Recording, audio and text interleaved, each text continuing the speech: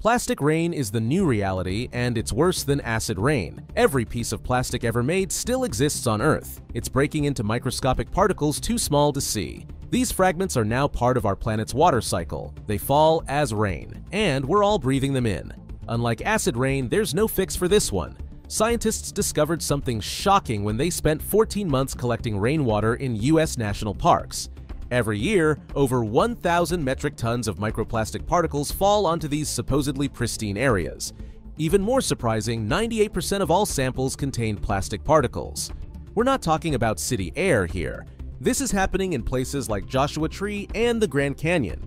These aren't just random pieces of trash. The majority are microfibers from our clothes and tiny fragments from broken down plastic bottles. Some are so small you need special equipment to see them. But here's the kicker. About 30% of particles found in US parks were microbeads. These tiny spheres were banned from beauty products in 2015.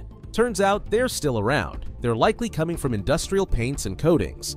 The way plastic rain works is fascinating and terrifying. Wind currents pick up plastic particles from cities. They carry them high into the atmosphere.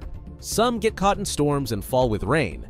Others, especially the tiniest pieces, can ride the jet stream for hundreds or even thousands of miles. They're lighter than dust, so they travel even farther. Just like Saharan sand can cross the Atlantic to fertilize the Amazon, plastic particles from European cities end up in the Arctic. But unlike sand, plastic never truly disappears. Instead, it keeps breaking down into smaller and smaller pieces. Scientists are finding these particles deep in the ocean. They're embedded in Arctic ice, and now they're falling from the sky. The particles are so small that researchers worry we're not even seeing the whole picture. Current technology can't detect the tiniest fragments, called nanoplastics, but we're probably breathing those in too. For wildlife, the impact is already showing. One study found that hermit crabs exposed to microplastics have trouble choosing new shells. This is a skill they need to survive.